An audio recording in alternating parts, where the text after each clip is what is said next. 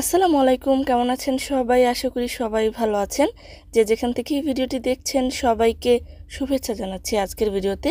জানিয়ে দেব কুয়েতের সর্বশেষ খবর।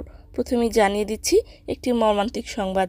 কুয়েত প্রবাসী সাপোর্ট টিম পেজ থেকে জানা যায় যে, কুয়েতের আমানকো কোম্পানিতে কর্মরত একজন বাংলাদেশি প্রবাসী রেমিটেন্স যোদ্ধা ভাইয়ের নিজ ব্যারাকের ছাদ থেকে তার মৃতদেহ উদ্ধার করা হয়েছে।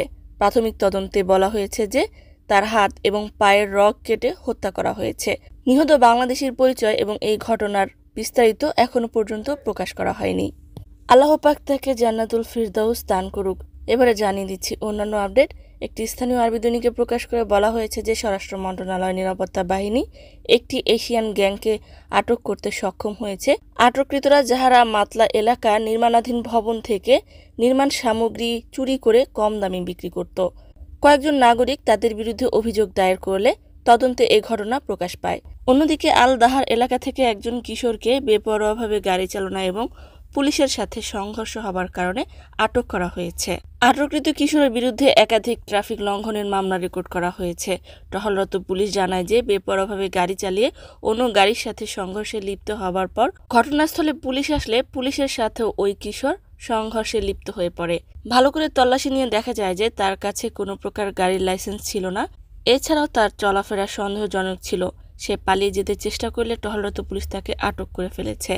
অপরদিকে নিরাপত্তা বাহিনী সামাজিক যোগাযোগ মাধ্যমে চাঁদাবাজি হুমকি ধামকি এবং ভয় দেখানোর অপরাধে একটি গ্যাংকে আটক করেছে। আটককৃতদের বিরুদ্ধে একজন মহিলা অভিযোগ দায়ের করেছিল যে ওই মহিলাকে সামাজিক যোগাযোগ মাধ্যমে বিভিন্ন ধরনের স্ক্যামিং করে তার সাথে প্রতারণা করে, তার কাছ থেকে অর্থ হাতিয়ে নিয়েছে। অর্থ হাতিয়ে নেবার পর তাকে বিভিন্ন রকমের হুমকি ধামকি দিয়ে আসছিল। আটকের পর অভিযুক্তরা স্বীকার করে যে তারা এ ধরনের কাজে দীর্ঘদিন ধরেই লিপ্ত ছিল। তাদের বিরুদ্ধে কঠোর আইনি ব্যবস্থা নেওয়া হবে। অন্যদিকে কুয়েতের কোর্ট অফ ক্যাসেশন একজন কুয়েতি নারীর বিরুদ্ধে দুই হাজার দিনার জরিমানা করেছে।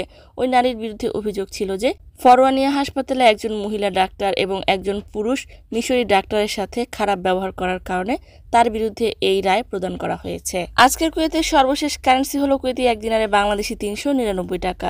সর্বশেষ গোল্ড প্রাইস হলো এক গ্রাম বাইশ ক্যারেট স্বর্ণের দাম পঁচিশ দিনার পঁচাশি পয়সা। গোল্ড প্রাইস এ যাবৎকালের সর্বোচ্চ রেকর্ড ছাড়িয়ে গেল। সম্মানিত ভিউয়ার্স আজকের মতো এই ছিল আপডেট পুরো ভিডিওটি দেখার জন্য ধন্যবাদ। এ ধরনের ভিডিও পেতে চাইলে ইউটিউব চ্যানেলটিকে সাবস্ক্রাইব করে দিবেন ফেসবুক পেজটিকে লাইক এবং ফলো করে দিবেন। যারা পূর্বেই করেছেন, সবাইকে ধন্যবাদ। আজকের মতো বিদায়। আল্লাহ হাফেজ।